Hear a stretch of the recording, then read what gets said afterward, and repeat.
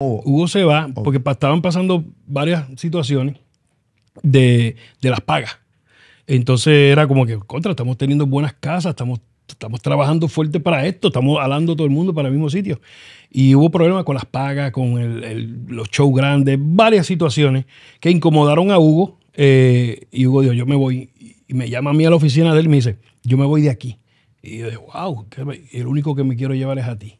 Yeah.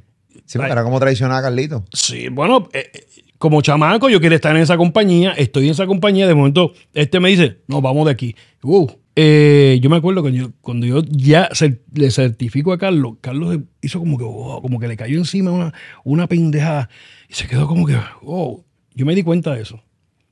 Y me dijo, está bien, está bien, hablamos. Y me dijo, ¿qué tú crees si, si vas esta semana? Y yo, no, Carlos, ya, yo termino hoy.